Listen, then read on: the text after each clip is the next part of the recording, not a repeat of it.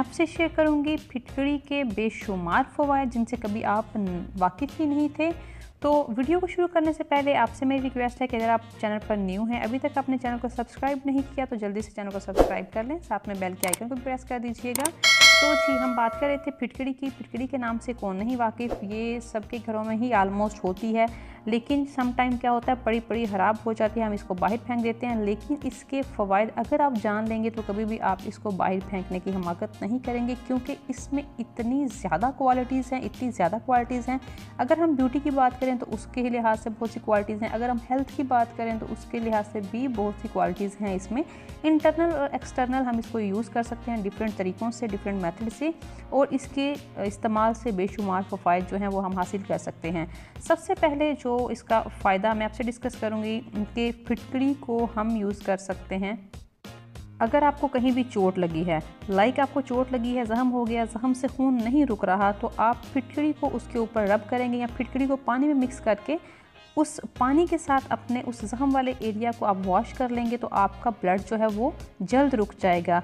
अगर आपके मुँह में हो गए हैं चाले या आपको माउथ अल्सर हो गया, यानी आपके मुँह में ज़ख़म हो गए हैं तो फिटकड़ी के पानी के साथ आप अगर कूलियाँ कर लेते हैं लाइक आपने फिटकड़ी को पीस के इसका पाउडर बना के घर पे रखा हुआ है, उसको आप पानी में मिक्स करेंगे और उसके साथ आप कुलियाँ कर लेंगे तो आपको बहुत ही जल्द आराम आ जाएगा।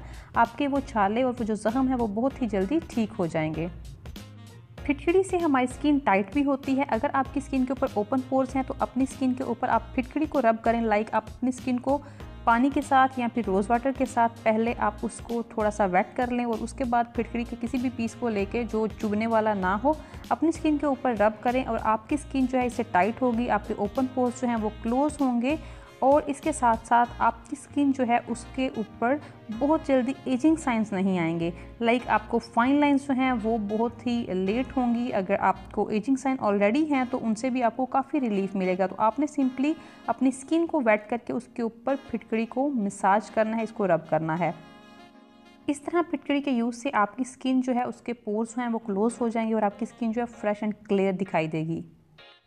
फिटकड़ी का नेक्स्ट बेनिफिट ये है कि अगर आपकी स्किन के ऊपर ऑलरेडी एजिंग साइंस हैं झुरियाँ वगैरह हैं, आपने मेकअप करना है और कुछ ही टाइम के बाद आपका मेकअप जो है वो ख़राब हो जाता है लाइक आपको बहुत ज़्यादा एक्सेसिव ऑयल हो जाता है या फिर आपकी फाइन लाइन जो है बहुत ज़्यादा क्लियर होने लग जाती हैं तो आप मेकअप करने से पहले फिटकड़ी के पाउडर को पानी में मिक्स करके उसके साथ अगर फेस वॉश कर लेंगे और उसके बाद मेकअप करेंगे तो आपका जो मेकअप है वो लॉन्ग टाइम के लिए आपके फेस के ऊपर स्टे करेगा। मेरी ऐसी बहनें जो किचन में काम करती हैं और आपको पता है किचन में काम करने के बाद हमें बहुत ज़्यादा पसीना आता है, पसीने को बार बार हम फेस से जब साफ़ करते हैं तो उससे हमारी स्किन के ऊपर एक्सेसिव ऑयल प्रोड्यूस होना शुरू हो जाता है। इस तरह भी आप अगर फिटकड़ी को यूज़ करेंगे, उसके वाटर के साथ अपने फेस को वॉश करेंगे तो आपका वो एक्सेसिव ऑयल जो है वो कंट्रोल हो जाएगा। और अगर आपकी बॉडी पे बहुत ज़्यादा पसीना आया है, आपकी अंडर आर्म्स में से स्मेल आना शुरू हो गई है या फिर आपके पाँव में से स्मेल आना शुरू हो गई है लाइक आप बंद जूता पहन रहे हैं, पाँव में से और अंडर आर्म्स में से जो आपकी स्मेल है, उसको ख़त्म करने के लिए फिटकरी जो है वो कमाल की चीज़ है बेस्ट एवर इंग्रेडिएंट है ये।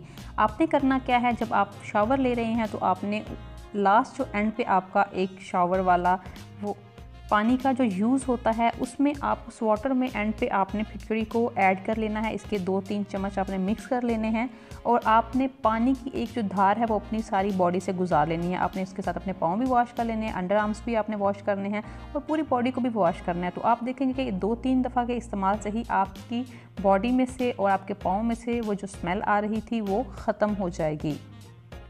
फिटकड़ी का जो नेक्स्ट बेनिफिट है, वो ये है कि अगर आपके गम्स जो हैं, वो ब्लीडिंग गम्स हैं, यानी उनमें से बहुत ज़्यादा ब्लीडिंग हो रही है, आप ना तो ब्रश कर सकते हैं, ना ठीक से खाना खा सकते हैं, क्योंकि आपके दांतों में से बहुत ज़्यादा खून आता है। तो आपने क्या करना है, इस फिटकड़ी को रोज़ वाटर में या फिर सिंपल वाटर में मिक्स करके आपने इसकी कुलियाँ करनी हैं, जिससे आपके दांतों का खून जो है वो बहुत ही जल्द रुक जाएगा और आहिस्ता आहिस्ता आपको उससे रिलीफ होगा। आप वीक में दो से तीन दफ़ा ये कर करेंगे तो इन आपका ब्लीडिंग गम्स ब्लीडिंग का जो प्रॉब्लम है वो बिल्कुल ख़त्म हो जाएगा। इसका जो नेक्स्ट बेनिफिट है वो ये है कि अगर आपकी स्किन के किसी भी एरिया के ऊपर फेस के किसी भी एरिया के ऊपर पिंपल्स हो गए हैं तो आपने फिटकड़ी को लेना है और साथ में अपने रोज़ वाटर को ऐड करना है। रोज़ वाटर के साथ आप फिटकड़ी को गीला कर लें या फिर आप अपने स्किन के उस एरिया को जहाँ पे आपको किसी भी तरह का कोई पिंपल बन गया है तो आपने उसको गीला करके इस फिटकड़ी को उसके ऊपर रब करना है। तीन चार दफ़ा आप उसको रब करेंगे तो आपका वो जो एरिया है, वहाँ से पिंपल जो है वो आहिस्ता आहिस्ता रिमूव होना शुरू हो जाएगा। क्योंकि फिटकड़ी में नेचुरल तौर पर बैक्टीरियल प्रॉपर्टीज़ होती हैं, ये किसी किस्म के भी बैक्टीरियाज को ख़त्म करती है। इसलिए आपने इसको अपने पिंपल के ट्रीटमेंट के लिए भी यूज़ करना है। आज की वीडियो की सबसे अहम और ज़रूरी जो टिप है, फिटकरी का जो यूज़ है, वो है हमारे हेयर की रिडक्शन या हमारे हेयर रिमूवल। तो जैसा कि हम लड़कियों का आजकल सबसे बड़ा प्रॉब्लम ये है कि हमारे फेस के ऊपर बाल आ जाते हैं, जिनको हम अनवांटेड हेयर कहते हैं। वो समटाइम हमारे अपर लिप्स के एरिया पे आ जाते हैं समटाइम हमारे वो चिन के एरिया पे आ जाते हैं। जिनको हम बार बार वैक्स करते हैं या फिर हम किसी भी और तरीके से थ्रेडिंग वगैरह से हम उनको निकालते हैं तो उनकी जो प्रोडक्शन होती है वो और ज़्यादा बढ़ जाती है। लेकिन अगर आप फिटकड़ी का यूज़ करते हैं, अपनी बिफ़ोर वैक्स और आफ्टर वैक्स तो उससे आपके बाल आहिस्ता आहिस्ता रिड्यूस होना शुरू हो जाएँगे और फिर एक टाइम आएगा कि आपके बाल जो होंगे वो बिल्कुल उस एरिया से ख़त्म हो जाएँगे। हार्मोन्स की डिस्टर्बेंस है या फिर आपको जेनेटिक प्रॉब्लम है, किसी भी वजह से आपके स्किन के ऊपर फेशियल हेयर जो हैं वो आ रहे हैं या फिर आपकी बॉडी के किसी भी एरिया से आप बालों की प्रोडक्शन को रिड्यूस करना चाहते हैं तो वहाँ पे आप फिटकड़ी यूज़ करें। अगर आप किसी भी एरिया से वैक्स कर रहे हैं तो बिफ़ोर वैक्स और आफ्टर वैक्स आप फिटकड़ी को उस एरिया पर रब करें।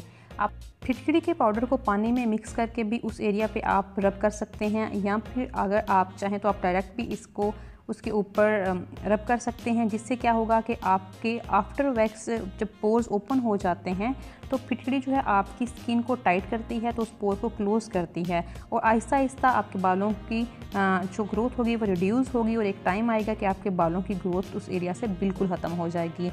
तो ये थी हमारी आज की छोटी सी वीडियो आई होप कि आपको वीडियो अच्छी लगी होगी। अगर वीडियो अच्छी लगी है तो वीडियो को प्लीज़ लाइक कर दीजिएगा। Thanks for watching